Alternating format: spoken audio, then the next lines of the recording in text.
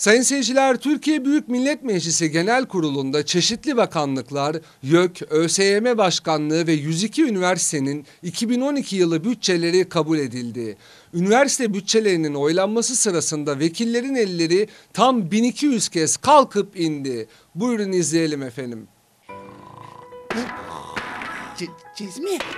Ce- Cezmi, Cezmi. Ha, ha, ne, ne oldu hanım gece gece ne oldu ya? Kalk kalk içeriden tıkırtılar geliyor. Eve hırsız girdi galiba. He? Sen hemen, sen hemen polisi ara polisi. Ben içeri bakmaya gidiyorum. Tamam ama dikkatli ol Cezmi. Tamam tamam sen de öyle. Bakayım. Bak bak şu gümüş şamdanları da at çuvala at at. Tamam abi attım attım. Lan ne yapıyorsunuz lan siz burada? Sakın kıpırdamayın vururum ha. Allah. Şimdi ne yapacağız abi? Ama bir dakika dur dur dur, dur bakayım dur. Ana lan bu, bu adam milletvekili Cezmi Kütür değil mi lan? Aa evet vallahi ben de tanıdım. Yeminle o vallahi ha. Bak şimdi bak şimdi nasıl kurtuluyoruz bak. evet değerli milletvekilleri şimdi oylamaya geçiyorum. Kabul edenler?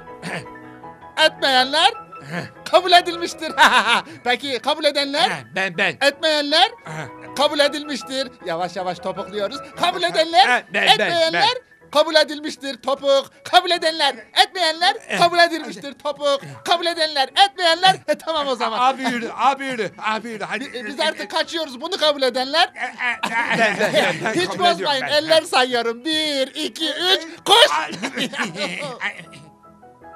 Tamam mı? İ- İndireyim mi artık elimi? Şşş, sayın meclis üyesi size söylüyorum. Lan, lan, ne, ne meclis üyesi lan? Lan, lan, kaçmayın lan, gelin lan buraya. Lan! Sayın seyirciler, yılbaşı geleneklerinden belki de en önemlisi hediye alıp vermektir.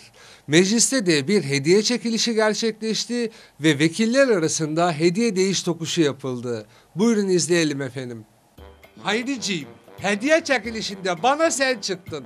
Artık çam sakızı çoban armağanı. Hadi mutlu yıllar. aman efendim aman. Yani düşünmen yeter ya. Dur bakalım bakalım bakalım neymiş. Bak bakalım. Allah! Vallahi tam oturdu ha. Ya medium mu alayım, small mu alayım önce karar verememiştim ama iyi ki XX large almışım ha. iyi koydu yumruğu. Ee, Musa Bey bana da çekilişte siz çıktınız. Yani kusura bakmayın biraz aceleye geldi. Hediye paketi yaptıramadım. Şöyle takdim edeyim. Asra! Allah Allah aman efendim aman efendim çok teşekkür ederim ya. Tesadüfe bakın ki bana da siz çıktınız kurada. Hadi nice mutlu yıllara. İyi de ben sana küçücük bir hediye verdim. Sen niye bana bütün gücünle hediye veriyorsun lan? Ulan senin babandır lan. Al sana bir tane. Ee, sayın vekiller, lan, lan sayın vekiller e, diyorum ki bakın bu dayak merasimine biraz a, şey pardon hediye merasimine ara veriyorum 10 dakika. Herkes gidip yüzünü yıkayabilir, pansuman yaptırabilir ve buz kompresti yaptırabilir. Ya yani ama ne adamsınız siz de ya. Biriniz de dolma kalem kravat falan alsaydı ya arkadaşınıza. Herkes de aynı hediyeyi almaz ki oğlum. Efendim bütün sene kavga dövüş hırgürle geçti. Yeni yıla hıncımızı almadan girmeyelim dedik biliyor musun? Kötü mü ettik yani? Ha iyi halt ettiniz. Ha, bu arada arkadaşlarla toplanıp size de kocaman bir hediye aldık. Birazdan takdim edeceğiz başkan. Ha yapma ya. o zaman ben aradan vazgeçtim. Oturumu tatil ediyorum. Hadi fıy. Fıy.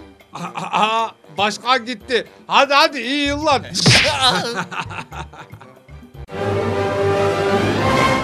Sayın seyirciler, dünya birkaç dakika önce Fransa'dan gelen haberle sarsıldı.